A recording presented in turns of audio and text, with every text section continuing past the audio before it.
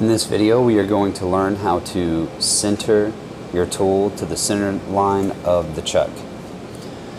What I have done is I put a center in the tail body and we are going to loosen our tool and position it to where we can eyeball center of the tool or the tip of the tool to the center line of the chuck with by using the center. So I have my tool post loose so I can slide my tool up and down and I'm going to position my tool to where the tip of the tool is almost touching this uh, the very edge of the center. And then all I do is I eyeball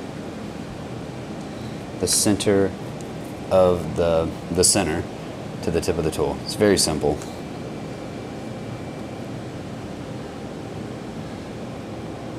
And this is going to be important when you're facing and things of that nature because if you are below the center line of your part, you're going to leave a little stud sticking up whenever you're facing it, and it may even rub your tool and chip your tool.